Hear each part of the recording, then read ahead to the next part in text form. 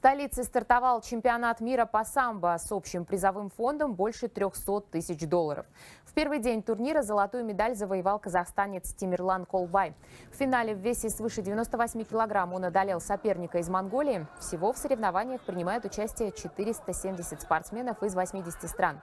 Они разыграют 31 комплект медалей. Среди почетных гостей турнира легенда мирового ММА российский боец Федор Емельяненко. Отвечая на вопросы журналистов, именитый спортсмен заявил, что казахстанский боец UFC Шавкат Рахмонов в будущем способен завоевать чемпионский титул промоушена.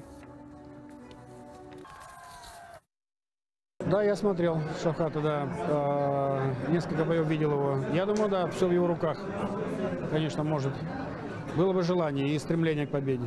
Казахские спортсмены всегда привлекали к себе, приковывали к себе внимание и были одним из, да, вот Василий Борисович сказал, что одна из ведущих стран в развитии и популяризации самбо. По статистике у нас спортсменов в Казахстане 42 682 спортсмена у нас занимаются самбо.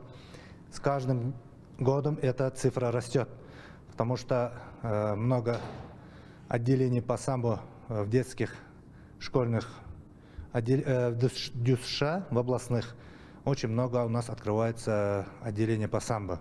Также мы будем развивать параллельно Э, клубной системы, будем открывать клубы самбо, и э, вот эта клубная система, она еще раз будет толчком на развитие самбо в Казахстане.